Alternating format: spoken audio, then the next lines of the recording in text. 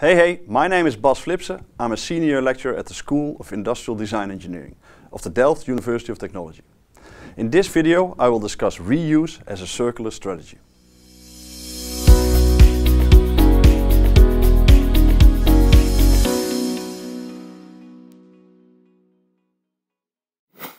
In a circular economy, the definition of reuse is reapplying a product for the same purpose, in its original form and without altering or enhancing it. Beer bottles are examples of reusable packaging. The consumer has to pay a deposit which is refunded when they take the bottle back to the store. The manufacturer retains ownership and the bottle and the consumer only uses it during the consumption period. The manufacturer keeps and reuses the bottle for a certain amount of cycles, after which they will be recycled into new bottles.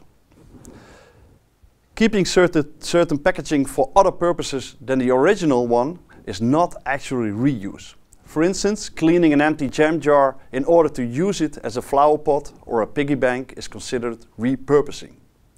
In this case, the jam jar has left the system in which it could be continuously reused again and again. Reusing a packaging item preserves more of its embedded value than recycling it, which is generally a more costly and energy-intensive process. This principle is known as the power of the inner circle, which refers to the activities that are at the center of the butterfly diagram, such as repair and reuse.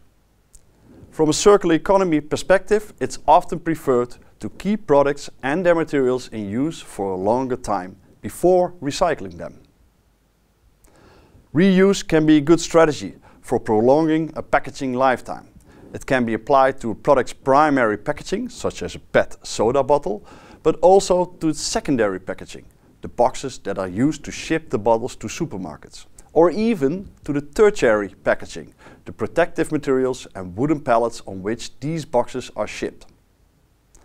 In order to create a circular packaging systems, designers and manufacturers have to reconsider their product's primary, secondary and tertiary packaging.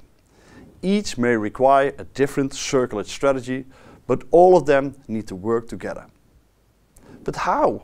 do you know which strategy is better and has a lower environmental impact? When making an impact analysis, you have to think in systems. It's not just the impact of materials and production. Other aspects of a product life cycle also need to be taken into account, like transport of materials, goods around the globe, but also the last mile to the consumer's home. Resources consumption during use, either energy or feedstocks like water and lubricant, and the chosen end-of-life strategies like recycling, waste, incineration or landfilling. A good way to evaluate the packaging environmental impact is to perform a so-called life cycle assessment.